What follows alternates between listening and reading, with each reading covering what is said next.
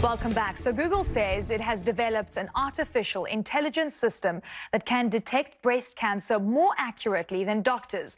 The program was developed using tens of thousands of mammograms from women in the US and UK. A report found it reduced false positives and false negatives. Daniel Tse and Shravya Shetty are the product manager and technical lead at Google Health. They join me now from San Francisco. Great to have you on the show. Happy New Year and congratulations on your findings and the development of um, this uh, new technology. Thank you. Thank Happy you. New Year. So it's fascinating to see um, how the detection of cancer using AI is far better than doctors, and you're using less information to do this. How does it work? Go on. Yeah. Uh, so at a high level, we use two principles.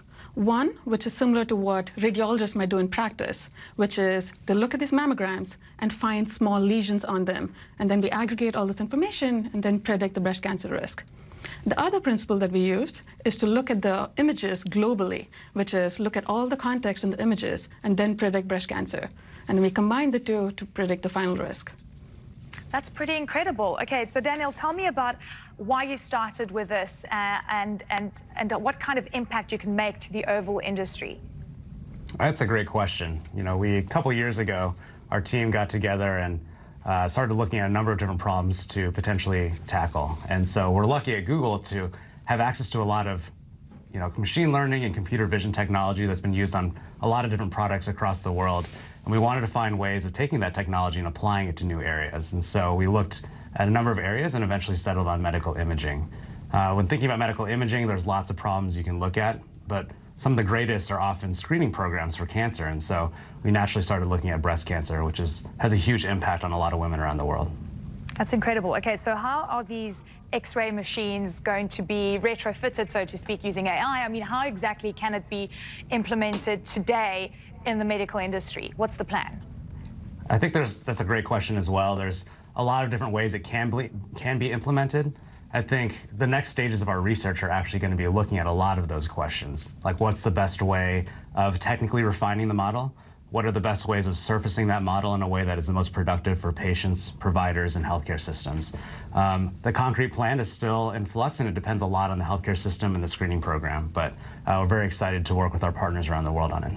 And there are many ways of integrating this into a workflow. It could be on the hardware side, but could also be on the software side. So it doesn't necessarily require a retrofitting into existing hardware. So these are interesting findings, Shravya, but you know, what is it going to take to actually get it into the system? Are we talking about it being years away? Are we looking at, you know, you guys thinking of teaming up with various companies? How do you plan to actually do this?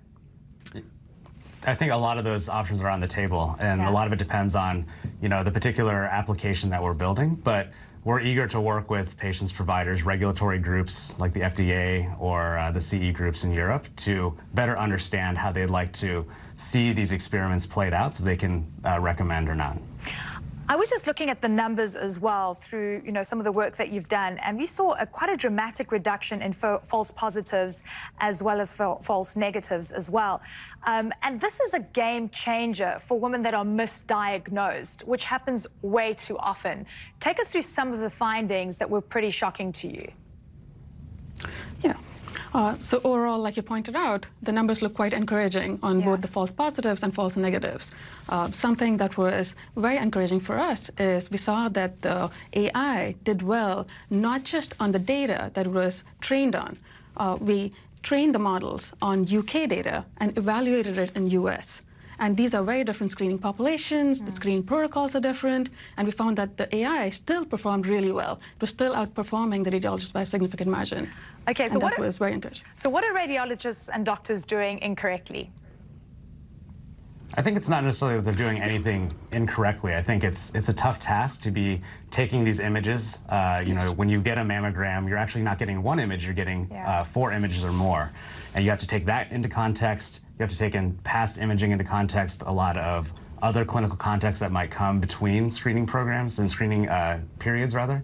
Yeah. And so you know, it's that plus doing that task all day. And so, uh, if anything, one of the goals of our research is to build tools to assist these doctors what, with that very What, what really stuck out for me as well is that you're using less information, and we know that radiologists also tend to look at family history, you know, the possibility of, you know, it being hereditary and so forth. Do you think that using less information or not even just looking at background information uh, gives a cleaner result in a sense? Uh, not necessarily, because in, at the end of the day, we're not expecting the AI to stand alone. Mm. We expect it to work with the doctors. So, which means at the end of the day, you do have this information available. Can doctors be replaced? Will they be replaced? Uh, so, like Dan had mentioned a little bit earlier, we don't think that uh, it's, it's, one versus the other. Yeah. Uh, in fact, what we saw in our results is there's a number of cases where the AI gets it right and the doctors don't, but there's also a number of cases where the doctors get it right and the AI don't. I think they can complement each other, and bringing the two together is what can help bring out the strengths in each. Um, so it's exciting times for Google Health. What other projects are you working on, and is AI and machine learning at the center of this? Yeah, there's lots of applications. Obviously, what we're talking about right now is medical imaging. Actually, our team published a paper earlier this year in Nature Medicine looking at lung cancer screening. And so we're very encouraged by a lot of these results and want to explore a lot of other areas where we can use imaging uh, to help with current clinical workflow. Shravya and Daniel, thank you very much and all the best.